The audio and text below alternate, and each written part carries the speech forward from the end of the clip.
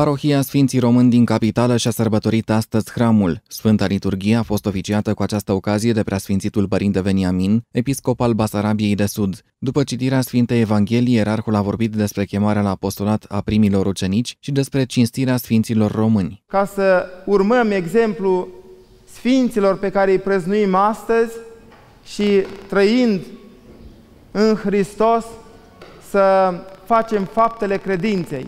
Îmi vine în minte mărturisitorii din primele secole și cuvioșii care s-au nevoit în diferite mănăstiri și sihăstrii. Îmi vin în minte chipurile luminoase ale mucenicilor din secolul al IV-lea și o parte dintre ei s-au nevoit chiar aici, în Dobrogea noastră românească. Sfintele lor moaște fiind descoperite mai devreme sau mai târziu, iar ale unora dintre ei chiar în secolul al XX-lea. Îmi vin în minte chipurile luminoase ale voievozilor care, pe lângă păstrarea și mărturisirea dreptei credințe, s-au făcut ctitori de locașuri sfinte.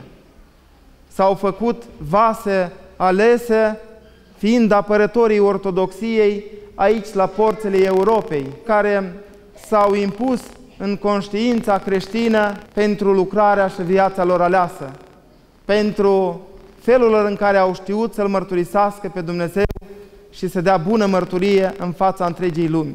După Sfânta Liturghie, Preasfințitul Părinte Episcop Veniamin a oficiat o slujbă de pomenire pentru ctitorii acestui sfânt locaș adormiți în Domnul. La final, ierarhul a vorbit despre misiunea pe care o are în Episcopia Basarabiei de Sud. Va trebui să organizăm viața bisericească în această eparhie, unde nu avem foarte multe parohii, avem în jur de 30 de parohii și 3 mănăstiri, dar viața lor este dificilă și grea.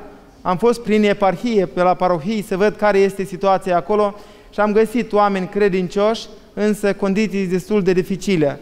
Nu au multe lucruri. M-a impresionat însă credința și statornicia lor. Am fost impresionat de cele ce am văzut acolo și îmi doresc ca și noi să avem bisericile pline. Am slujit în mai multe biserici unde avem 30, 40, 50 de credincioși la biserică. E dificil pentru preoții de acolo, e multă sărăcie, însă să nu pierdem și credința. Chiar dacă suntem săraci, să avem viața curată și sfântă și să ne mântuim sufletele, fiindcă până la urmă nu bogățiile materiale sunt importante. Episcopul uh, Basarabiei de Sud este între noi în anul acesta al unității de credință și de neam arătând prin aceasta că un episcop al Basarabiei de Sud nu este altul decât unul dintre noi, iar părintele este de origine din Basarabia, arătând în același timp că nu este altul decât unul dintre basarabeni între noi.